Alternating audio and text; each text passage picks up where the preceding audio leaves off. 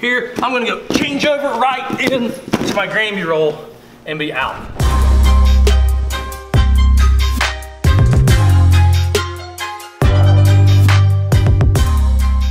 Okay, so uh, Coach Marks has been has been showing all this stuff from left side on top all day, like we talked about. He actually is a right side wrestler. His, his best position is on top by a long shot, and so uh, he's on my right side here. He comes and gets set, okay, and I, I do. I have uh, I've got a lot more options. I've got a better feel on my left side. So here, this is where my changeover is a big deal because because he is better than me on this right side now. Uh, I'm going to change over on the whistle. So wrestling happens, we, he jams me forward here, and I'm going to change over clear here to the other side. And as I come up into this knee up position, this is a beautiful time to go ahead and work into all my offense, right? I can uh, I can go knee back, hand walk, okay? I can knee slide and come up, okay? Uh, but I really like to go from in this changeover right into my Granby roll because you can surprise the top man big time here, okay? So he's on the right side.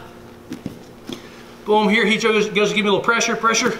Here, I'm gonna go change over right into my Granby roll and be out. Uh, he's on my right side, inside hand across, hop, boom. Here, okay, all I'm gonna do is lift my hips. My left foot is already underneath my right one. It's already cleared. He shouldn't be able to do anything with it. Here, I'm just gonna go over, and the first thing that hits is this shoulder. Boom.